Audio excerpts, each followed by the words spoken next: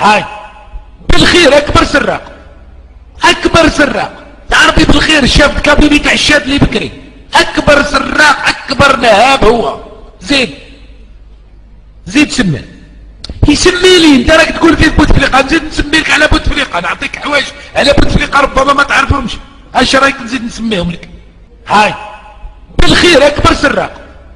أكبر سراق. تعرفي بالخير شاف كابيني تاع الشاد اللي بكري. أكبر اكبر نهاب هو زيد. زيد سميه يسمي لي انت راك تقول في بوتفليقه نزيد نسمي لك على بوتفليقه نعطيك حوايج على بوتفليقه ربما ما تعرفهمش. اش رايك نزيد نسميهم لك. هاي. بالخير أكبر سراق. أكبر سراق. تعرفي بالخير شاف كابيني تاع الشاد اللي بكري. أكبر سراق اكبر نهاب هو زيد.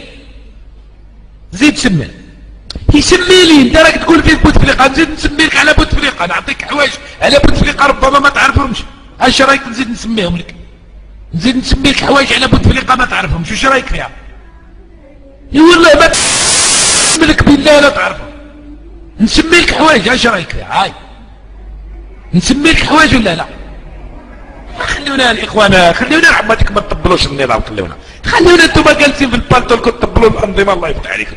خلونا نهضروا هضرة شوية على الديمقراطية ولا نهضروا على الأمور هذاك.